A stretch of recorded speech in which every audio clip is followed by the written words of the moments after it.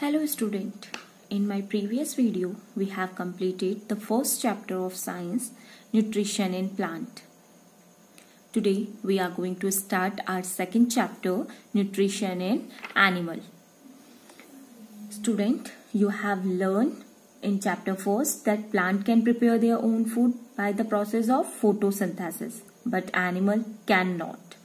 Why? Because animal is heterotrophs and the mode of nutrition which found in animal is heterotrophic nutrition.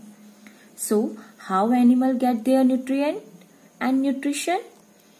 Actually, animal get their food from plants either directly by eating plant or indirectly by eating animals that eat plants.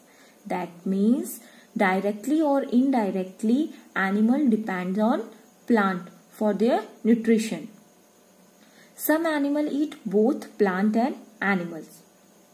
Actually, food are compulsory for all the living organisms for growth and development and energy for doing various activity because food have different components. Food consists of many component. You have a study in class 6 that food consists of many components. Try to recall and list them below. These stanza is given in your NCERT book. So student tell me which component are present in food? Carbohydrate, protein, fat, vitamin, mineral and starch. These components of food such as carbohydrate are complex substance and these complex substance cannot be utilized as such. So they are broken down into simpler substance and the breakdown of complex compound of food into simpler substances called digestion. Student, if someone asked you that what is digestion or define digestion, then you say the breakdown of complex compound of food into simpler substance is called digestion. Okay.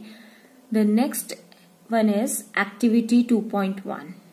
The first activity of chapter 2nd. Actually in this activity a table is given by the and in this table some animals name they write and you will fill here kind of food of these animal and mode of feeding. Here you see snail. The kind of food snail take is insect and mode of feeding is scraping. Okay. Ant taking grains and mode of feeding is chewing. Eagle you know, eagle, the kind of food is fish and mode of feeding is capturing and swallowing. Hummingbirds, student, you know that birds are sitting on the flower. Often you see also. So kind of food is nectar and mode of feeding is sucking. Lice. Kind of blood is uh, food is blood and mode of feeding is sucking mosquito kind of food is. You all know mosquito blood and mode of feeding is sucking. Butterfly kind of food is nectar and mode of feeding is siphoning is that clear? And housefly food. Okay? And mode of feeding siphoning also. Okay? Understood? The next one is amazing fact which is given in your NCERT book that starfish feed on animals covered by the hard shell of calcium carbonate. Okay. After opening the shell, the starfish pop out its stomach through the mouth, through its mouth to eat the soft animal inside the shell. The stomach then goes back into the body and the food is slowly digested. Why it is amazing fact?